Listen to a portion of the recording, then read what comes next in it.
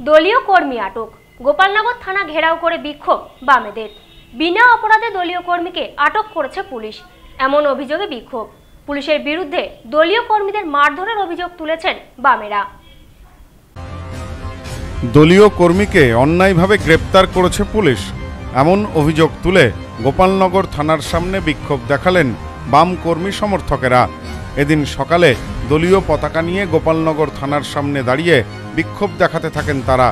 বিক্ষোভ সরাতে গিয়ে পুলিশ তাদের মারধর করেছে বলেও অভিযোগ বাম কর্মীদের মানে এরা লাথি মেরে লাথি মেরেছে ঢাকা ঢুকে মেরেছে আমাদের ফেলে দিয়েছে ঢাকা মেরে লাথি মেরে বড় বাবু বড় বাবু শাস্তি চাই আমরা ঢাকার ভিতরে ঢুকতে দিন বড় বাবু শাস্তি চাই আমরা শাস্তি চাই।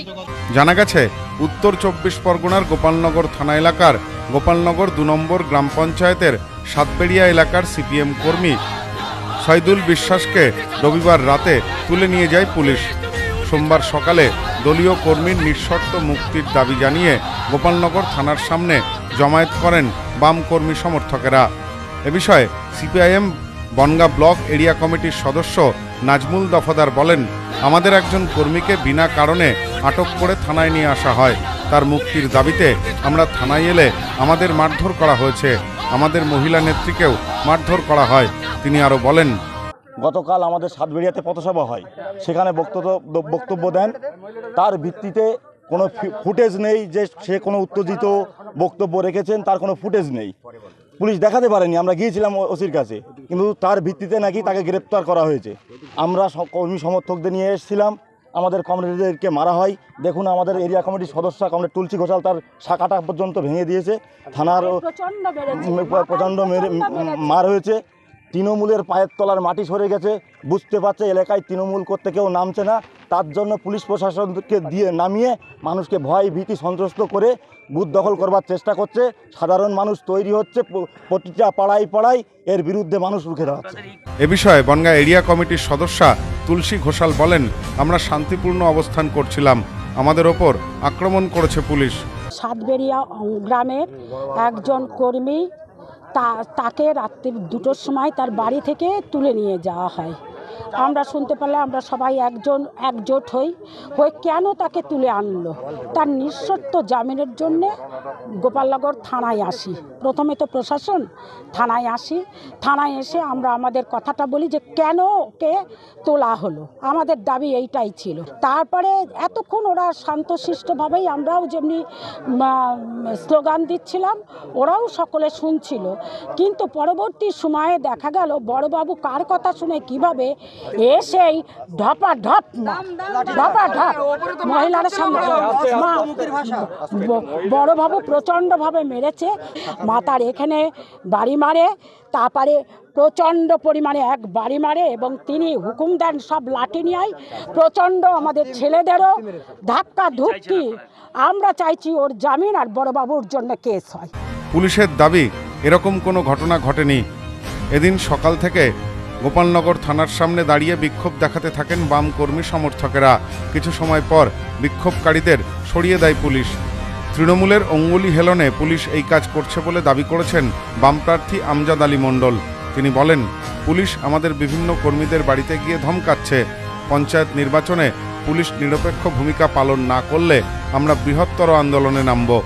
শুধু একজন কর্মীকে ধরেছে আরও অনেক কর্মীর বাড়িতে গিয়ে ধমকানো, চমকানো সেলিম সর্দার নামে একজন পার্টির সক্রিয় কর্মী।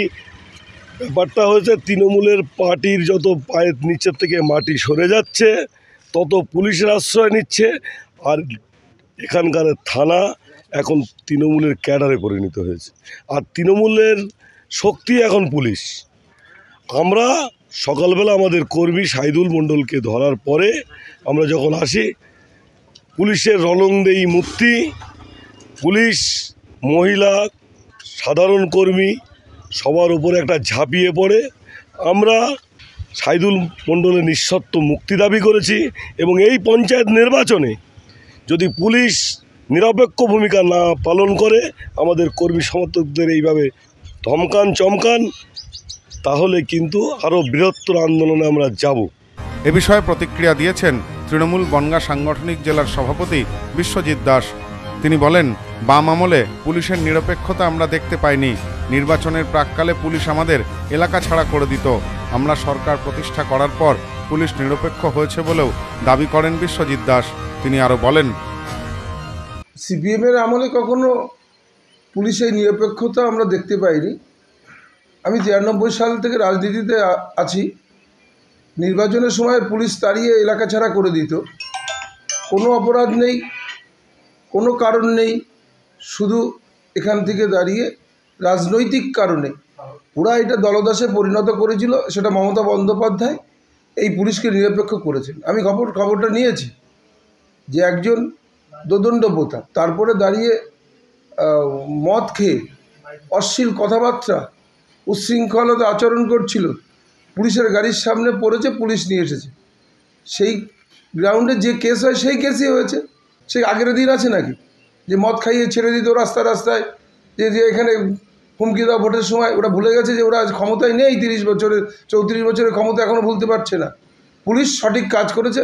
বামেদের আরও একটা অভিযোগ যে পঞ্চায়েতে তৃণমূল নিজেদের হার নিশ্চিত জেনে পুলিশকে ব্যবহার করছে।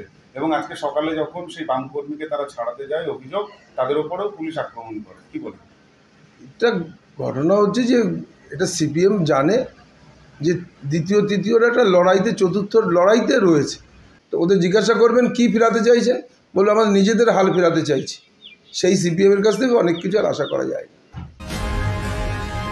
সব্যসাচী ভট্টাচার্যের রিপোর্ট নিউজ নোম্যান্সল্যান্ড গোপালনগর।